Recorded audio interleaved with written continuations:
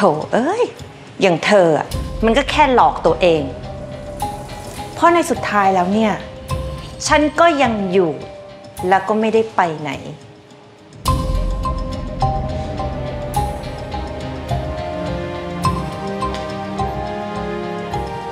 ทำไมฉันต้องกำจัดเธอด้วยอะ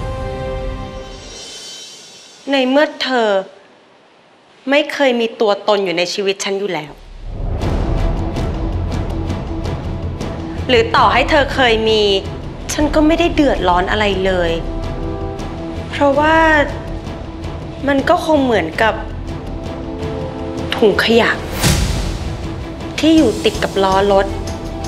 ไม่นานมันก็หลุดออกไปเอง โดยที่ไม่เคยรู้ด้วยซ้ำว่ามันมีตัวตนอยู่ แก